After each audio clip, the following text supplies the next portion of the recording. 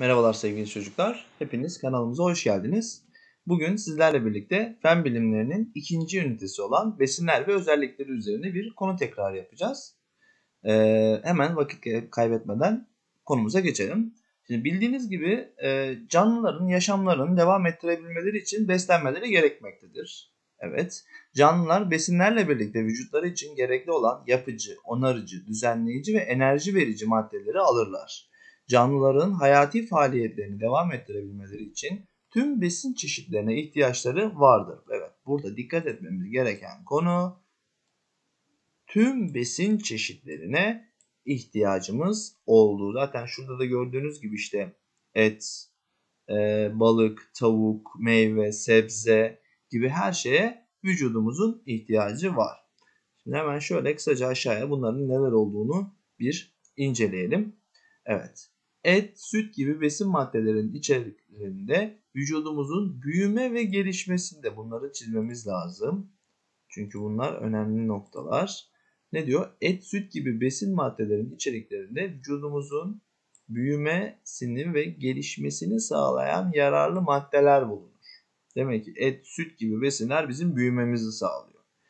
Zeytin, ceviz gibi besin maddelerinin içerisinde vücudumuzun enerji ihtiyacını karşılar. Şimdi enerji e, bizim günlük e, rutinimizi devam ettirebilmemiz için yani günlük hayatımızı devam ettirebilmemiz için bize lazım olan en çok lazım olan şey. Hani zaten gün içinde deriz ya of enerjim bitti ya da enerjim bugün çok az. Hani hiç hareket edecek halim yok. İşte bunları e, bizim bu enerjimizin sürekliliğini sağlayabilmemiz için bizim zeytin, ceviz gibi ve bunun tabii ki türevleri de var. Bunları bol bol tüketmemiz gerekiyor. Evet, su vücudumuzda kan dahil birçok yapıya katılarak bu yapıların işlevlerini yerine getirmesine yardımcı olur. Demek ki susuz bir hayat düşünülemez. Evet. Makarna, ekmek gibi nişasta içeren besinler de yaşamsal faaliyetlerin devamı için gerekli enerjiyi veren besinlerin içerikleri bulunur. Yani makarna, ekmek, işte patates gibi e, içinde ne olacakmış? Nişasta olan besinler bizim günlük faaliyetlerimizi devam ettirebilmemiz için gerekli olan enerjiyi bize veriyorlarmış. Evet. Meyve ve sebzelerin içeriklerinde hastalandığımızda çabuk ve kolayca iyileşmemizi sağlayacak, bizi güçlü yapacak maddeler bulunur. Demek ki meyve ve sebzeyi bol yiyen kişiler hastalandıklarında çok çabuk iyileşiyorlarmış. Bunu da sakın unutmayın. Evet. Besinlerin bazıları tatlı, bazıları ekşi, bazıları ise acıdır. Besinlerin tatlarının yanında elde ettikleri kaynaklar da farklı olabilir. Yandaki fotoğrafta görülen besin maddelerini inceleyelim. Evet, patates, biber, et, havuç ve balık. Evet, farklı kaynaktan besinler. Doğru. Severek tükettiğimiz bütün sebzeler ve meyveler bitkisel, et, tavuk, balık, süt, yumurta gibi besinler ise hayvansaldır. O zaman şimdi biz burada şu kavramı hemen e, oluşturmamız lazım. Bizim besinlerimiz iki çeşittir. Birincisi hemen çizelim. Hayvansal. Bir diğeri de bitkisel. Şimdi hayvanlar ve hayvanlardan hayvanların ürettiği besinlerimiz örneğin bal, örneğin yumurta, örneğin süt ve bu hayvanlar hayvansal besinlerdir. Ama işte toprakta yetişen, ağaçta yetişenler ise bizim bitkisel besinlerimizdir. Evet, şimdi devam edelim. Şimdi bu yediğimiz besinlerin içeriklerini ve görevlerini de hemen sizlerle birlikte inceleyelim.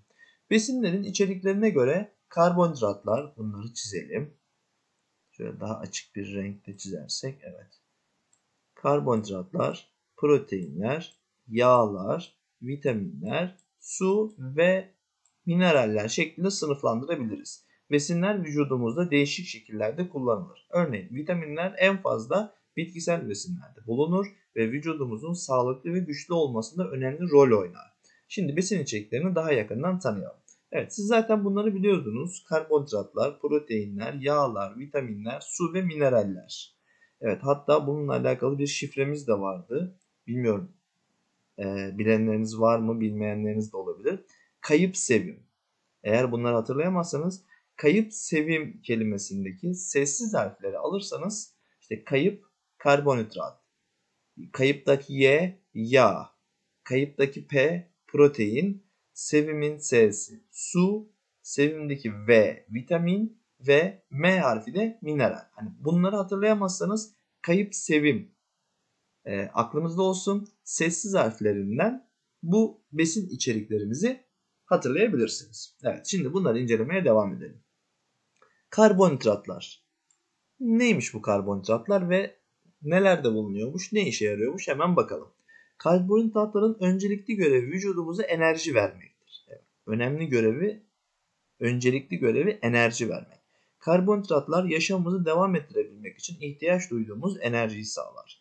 Bu yüzden enerjiye fazla ihtiyacımız olduğu durumlarda karbonhidrat yönünden zengin besinleri tüketmemiz gerekir. Makarna, ekmek, pirinç, bulgur gibi tahıl ürünleriyle patates, meyve ve balda bol miktarda karbonhidrat bulunur. Karbonhidrat ne işe yarıyormuş?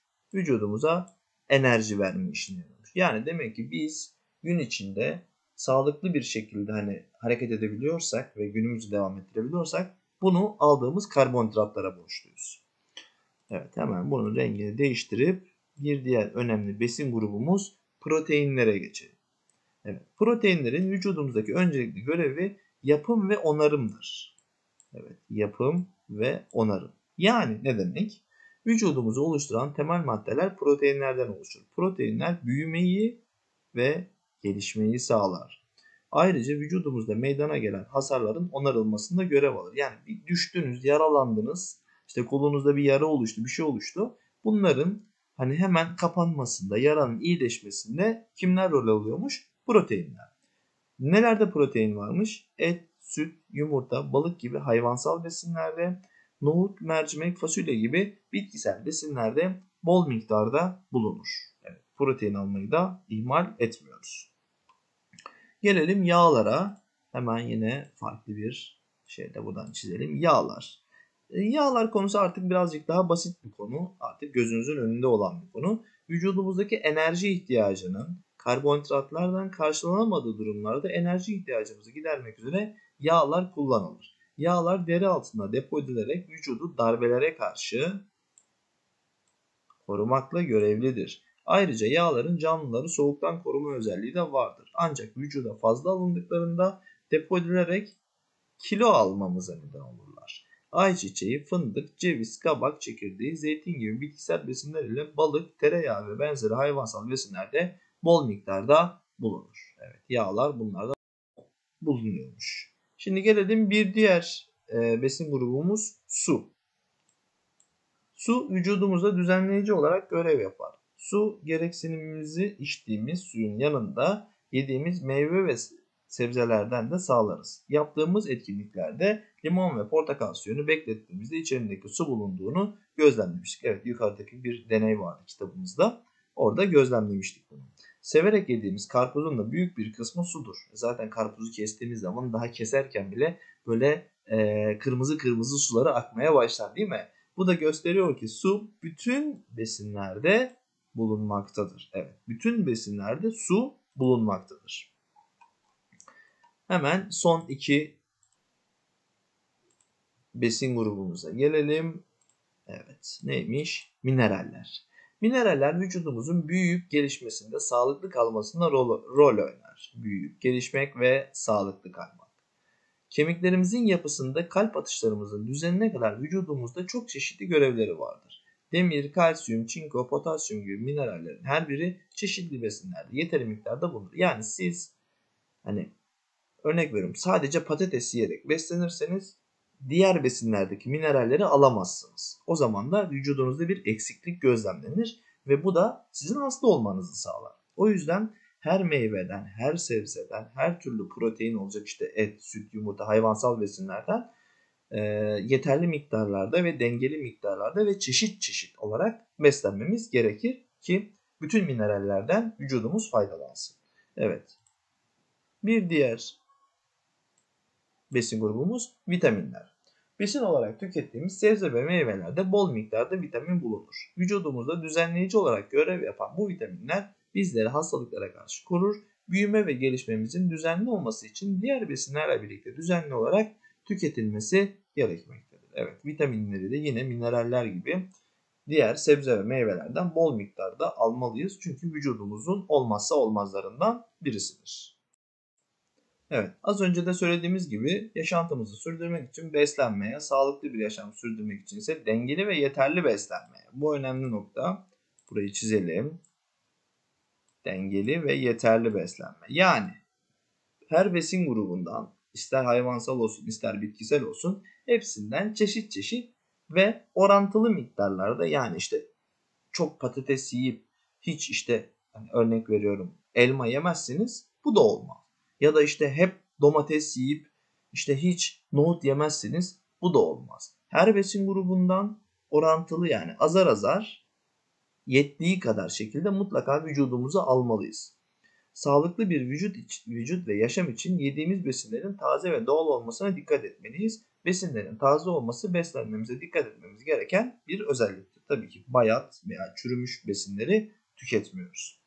Satın alınan ürünlerin taze olması çok önemlidir. Çünkü çürümüş, bozulmuş besinler sağlığa zarar verir, hastalanmamıza neden olur. Bunun için besinlerimizi güvendiğimiz marketlerden ve güvenilir firmaların ürünlerini almalıyız. Şimdi bilmediğimiz bir işte X firmasının e, sütünü almamalıyız. Çünkü içinde ne olduğunu bilemeyiz. Bunun yerine daha çok hani güvendiğimiz markalara, güvendiğimiz firmaların ürünlerini mutlaka daha çok tercih etmeliyiz. Marketlerde dondurulmuş ve paketlenmiş besinleri görüyoruz. Satın alınan paketli ürünlerin üzerine üretim ve son tüketim tarihleri yazmaktadır. Evet şöyle aşağıya doğru kaydıralım. Dondurulmuş ve paketlenmiş besinin üzerindeki son tüketim tarihlerine dikkat etmeliyiz. Evet bunu mutlaka unutmamalıyız. Son tüketim tarihi bizim için önemli. Son tüketim tarihi geçmiş ürünleri almamalıyız. Aksi takdirde gıda zehirlenmeleri yaşayabiliriz. Bu da sağlığımızı olumsuz yönde etkiler. Yani az önce yukarıda demiştik hani bozulmuş, çürümüş besinleri yememeliyiz diye. Yani ha bozulmuş, çürümüş besinleri yemeliyiz. Ha son tüketim tarihi geçmiş ürünleri tüketmeliyiz. İkisi de aynı. İkisi de vücudumuza büyük zarar verir. Bizi hasta yapar ve bunlardan kaçınmalıyız mutlaka. Ayrıca yiyecek paketlerinin açık olup olmadığına dikkat etmemiz gerekir. Eğer kapalı bir ürün alıyorsak kutulu ya da paketlenmiş ürünlerin e, ağızlarının açılmamış olmasına da mutlaka dikkat etmeliyiz. Aldığımız besinlerin paketlerin üzerinde Tarım ve Orman Bakanlığı'nın izninin olup olmadığına da bakmalıyız. Yani şimdi bu ürün nerede üretildi? İzni var mı? Yani şimdi tabii bizim bir Tarım ve Ormancılık Bakanlığımız var. Bir ürün üreten firmalar örneğin bir kutu süt. Bu üretilecekse mutlaka Tarım ve Orman Bakanlığı'ndan izin olması lazım bu firmanın. Eğer yoksa bu sağlıksız şartlarda, kötü koşullarda üretilmiş ve paketlenmiş olabilir. Bu da bizim sağlığımızın bozulmasına sebep olur. Bundan kaçınmak için mutlaka bu iznin olup olmadığına bakmalıyız. Aynı zamanda Türk Standartları Enstitüsü'nün işaretinin olup ol, olmadığı ürünleri almamalıyız. Şimdi hemen bunlara bakalım. Evet. Burada bir kutu süt var. Gördüğünüz gibi üzerinde bir ne var burada? Ben birazcık daha büyüteyim sizin için isterseniz. Evet. Üretim tarihi ve tüketim tarihi mevcut. Burada da yine Türk Standartları Enstitüsü'nün damgası mevcut. Gördüğünüz gibi kod numarası da mevcut. Menşei ülke Türkiye yani üretildiği ülke Türkiye bu ürünün üstünde. Bu şekilde bunlara mutlaka kapalı olan ürünlere, paketli olan ürünleri alırken mutlaka bunlara dikkat etmeliyiz. Sevgili çocuklar, bugün de sizlerle birlikte ikinci ünitemiz olan besinler ve özellikleri konumuzu tekrar etmiş olduk. Ee, Aranızda halen kanalımıza abone olmayan varsa lütfen hemen abone ol tuşuna bassın. Videomuzu beğenmeyi lütfen unutmayın. Zil tuşuna basarak bildirimleri açıp bir sonraki videolarımızdan en önce siz haberdar olun. Lütfen videoları da beğenmeyi unutmayın. Videolarımız bu şekilde üst sıralarda gözükerek e, sizler gibi başka öğrenci arkadaşlarımızın da bu videolardan faydalanmasını, onların da izlemesini bu şekilde sağlayabiliriz. Bizi takip ettiğiniz için, bizi izlediğiniz için teşekkür ederiz. Lütfen EBA TV'yi izlemeyi unutmayın, eksik etmeyin. Öğretmenlerinizin EBA üzerinden gönderdiği ödevleri de mutlaka yapmaya takip edin. Çünkü bu uzaktan eğitim sürecini en iyi şekilde değerlendirmemiz gerekiyor. Tabii bunlara ek olarak da bizim kanalımızda olan işte Türkçe, fen bilimleri ve matematik konularında mutlaka tekrarlarını takip edin. Arkadaşlarınızla da bizi tavsiye edin. Kendinize iyi bakın. İyi seyirler, iyi günler.